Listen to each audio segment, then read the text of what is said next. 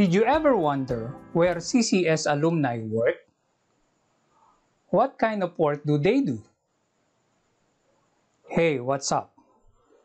It's me again, Jerry, your IS guy. The College of Computer Studies has produced graduates since the year 2005. Since then, our alumni experience landing to the different IT roles through the years. Companies who hire a CCS grad include this. Pretty impressive, huh? And then you ask,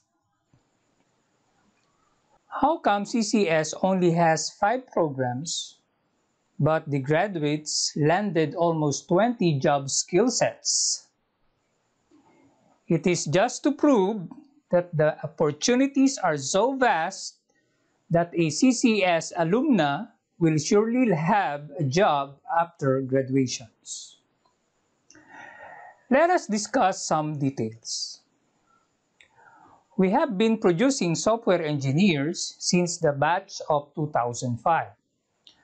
A big portion of our graduates landed to have this career. Next to our list is the IT support skill sets, 11.5%. We are proud to have careers in mobile development,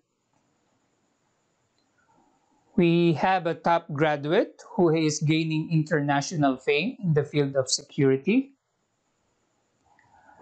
Some of our graduates, which is around 6%, are either supervisors or managers now. College of Computer Studies is just a new college of NEU. Most of our graduates come from the program of BS Computer Science. With the approval of CHED six years ago, our new graduates from the programs were already making waves in the industry.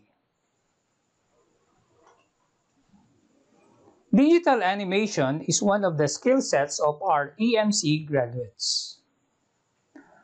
Though we only have two now as of this reporting in the field of augmented virtual reality, the number of graduates will increase as we have new students in game development. Where do we go from here? CCS will continue to flourish and we want you to be part of our family where we nurture your talents no matter what interest you have in the field of IT.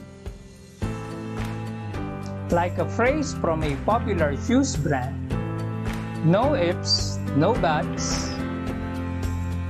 NEU CCS, just do IT.